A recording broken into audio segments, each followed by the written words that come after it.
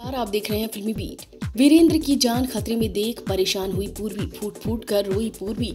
किस तरीके से बचाएगी अब वो वीरेंद्र की जान? क्या इस हादसे के बाद हो जाएँगे पूर्वी और वीरेंद्र एक?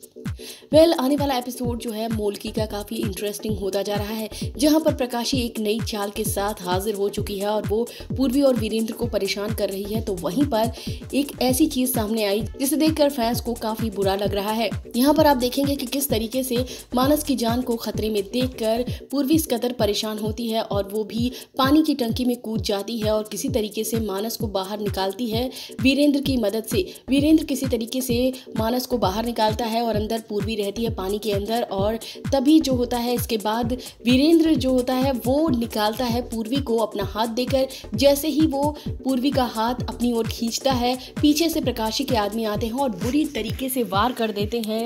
वीरेंद्र पर सिर पर वार करते हैं, जिसके बाद वीरेंद्र का सिर काफ़ी ज़्यादा खून निकलता है, यानी कि सिर फट जाता है।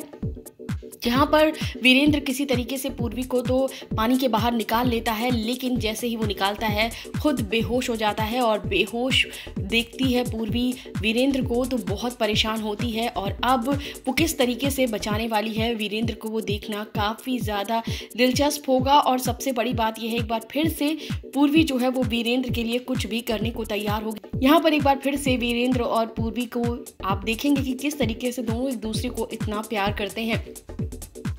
यहाँ पर वीरेंद्र जो है वो पूर्वी से अपनी गलती की माफ़ी मांगने के लिए लगा हुआ है और तभी स्टूडेंट की ड्रेस में वो नज़र आया था और वीरेंद्र लगातार माफ़ी मांग रहा था पूर्वी से, लेकिन पूर्वी माफ़ करने के मूड में नहीं थी। लेकिन अब देख लीजिए, ये हादसा हो गया है। तो ऐसे में अब क्या इस हादसे के बाद पूर्वी और वीरेंद्र हो जाएँगे एक? देखना काफ़ी दिलचस्प होगा कि किस तरीके से पूर्वी जो है वो वीरेंद्र की जान बचाती है। इस वीडियो में बस इतना ही।